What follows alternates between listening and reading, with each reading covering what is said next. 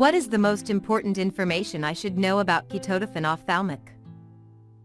You should not use ketotifen ophthalmic if you are allergic to it, or if you have an untreated eye infection.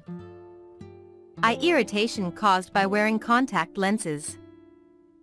Ketotifen ophthalmic is not approved for use by anyone younger than 3 years old. What drugs and food should I avoid while taking ketotifen ophthalmic? Do not use other eye medications unless your doctor tells you to.